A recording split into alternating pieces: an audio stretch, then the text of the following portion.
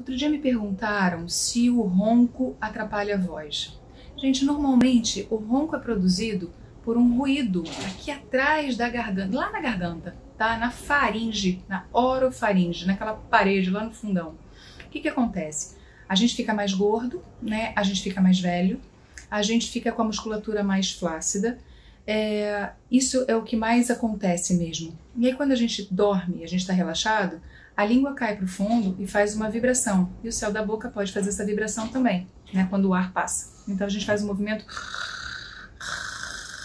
com a vibração aqui em cima, não é a vibração aqui. Então, normalmente, não tem grandes problemas com relação à voz, não, tá? Mas sempre é bom dar uma olhada, sempre é bom ir até o otorrino para ver se está tudo em paz com as pregas vocais. E fazendo exercício fonoaudiológico de motricidade geral, a gente consegue melhorar esse sistema muscular, tanto de língua quanto de palato, e nossa, é impressionante como o ronco realmente diminui, tá? Fora isso, vamos, vamos perder peso, tá? É impressionante como muita gente perdendo peso já, já melhora a rouquidão também, tá? Então tem solução e com certeza não afeta as pregas vocais.